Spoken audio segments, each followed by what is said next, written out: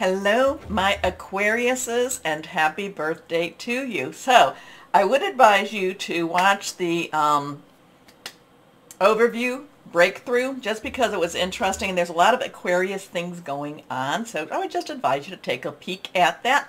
But remember, and that's where I'm also telling you a little bit about me, the cards I'm going to use, and also I remind you to um, remember these are general readings. They may or may not resonate. Take what you like, leave the rest. Also, take a moment, do the like, share, subscribe, clicking on the bell for notifications. You help me so much. Now, let me ground down a little bit or let me get a little bit more grounded, let's put it that way, and ask, you know, high, higher power, Holy Spirit, what would you like to say for this weekend for our Aquariuses. They've got some stuff happening. They've got stuff happening in their sign, let's put it that way. So what would you like to give us? What would you like to tell my Aquariuses? Or our Aquariuses. I know Aquarians, but I like to call you my Aquariuses because it just feels a little closer. Okay, here we go. Three cards. Reversed cards are um, strong energy. That's how I read them. Let's see what we've got here for you. Okay, the Knight of Earth. Money coming in, also going after new jobs, also um, going after something that feels very grounded, very powerful to you. Maybe you're buying a new house.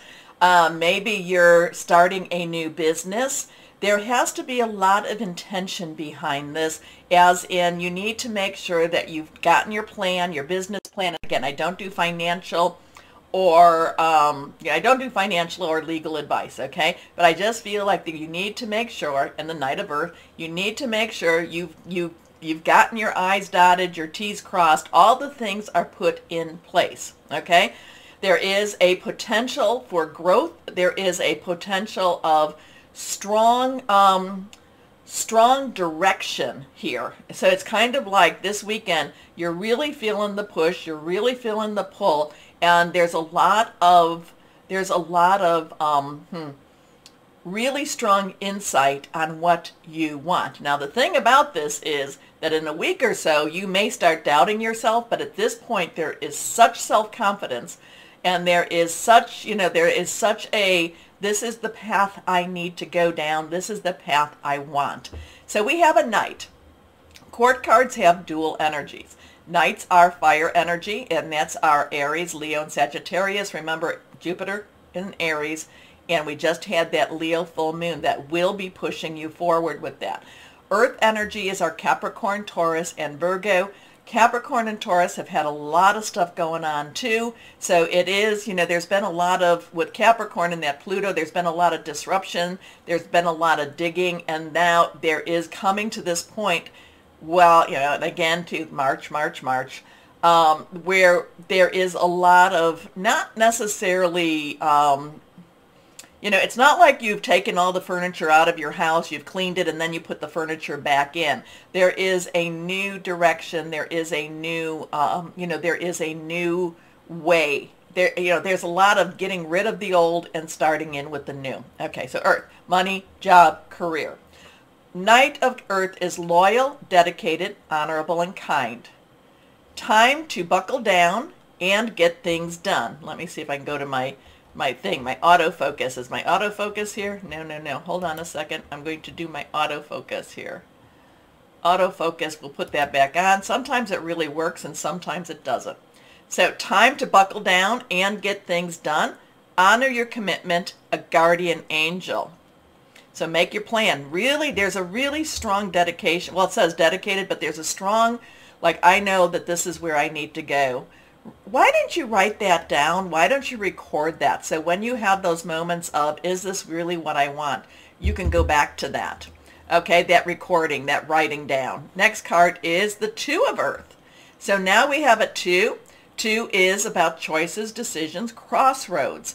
Um, Earth again, the same type. You are very grounded this with this energy. You are very much on your path with this. The thing about the Two of Earth Besides, there is, you know, you need there needs to be some balance. So this is one of those times, you know, that you're just so focused on, you know, getting to there, getting there, getting there, that you sometimes forget to enjoy your journey. sometimes you you know you forget to like take a look and enjoy the scenery too so we have too much going on at once the need to make a decision consider a more playful approach so part of the decision is again do i go forward do i stay where i'm at um, do i return and this is one of those things that it just will help like i said write it down or record your reasons record you know like do a video on why you're going the direction you're going and it doesn't mean you can't change your mind, but when you are kind of doubting yourself, you may want to look back and kind of say, okay, that makes sense. Or you can always revise your plans. Your next card is reversed, the Magician.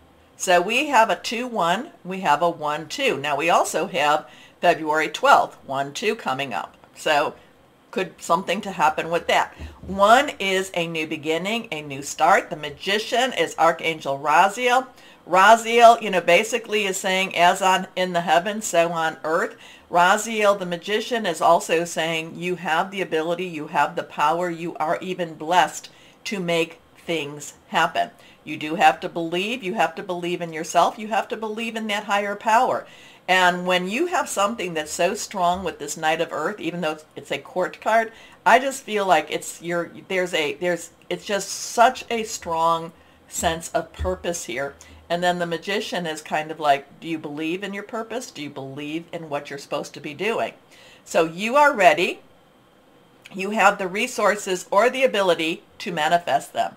Life is magical. I love magic. I love the magical life. Okay, let's see. John Holland. Okay, higher power. What else do you have for us? 2-1, 1-2, February 1st, February 21st, 12th. Okay, ooh, okay. So now we come to, and this has a purpler, I think this is a little purplish. So this would be the one of fire fire energy, Aries, Leo, Sagittarius. Remember Jupiter in Aries, and we just had that, that new, that full Leo moon. Passion ignited, a new path. You know, so not only are you just determined, but it's something that's really exciting you. So what I would do too with this going on is I would be, I would keep myself aware of what is, what I hear. I would keep myself aware of my next steps and I would do a lot of meditating with this and just saying, oh, I want to make sure that I am on the right path. But this is about believing in yourself and believing in the path that you've been given. Okay? So, and there's such a sense of purpose. I really say again, again, again, I would like you to record it, video it, videotape why you're doing what you're doing so that when there is that sense of insecurity and it comes, it comes to all of us, you can go back and, you know, and remember why that was. Okay, these are the angels of abundance because this is about abundance. New passion, we have that 1-1 energy again, 2-1-1, 1-1-2. Angels of abundance, what else? What else do we want for my Aquarians, Aquariuses? Here we go.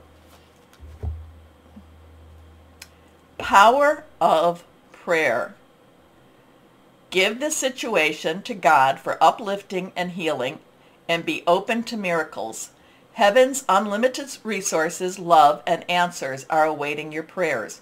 Be sure to act upon the divine guidance God gives you, gives to you in response to your prayers. So it's not just one thing to pray.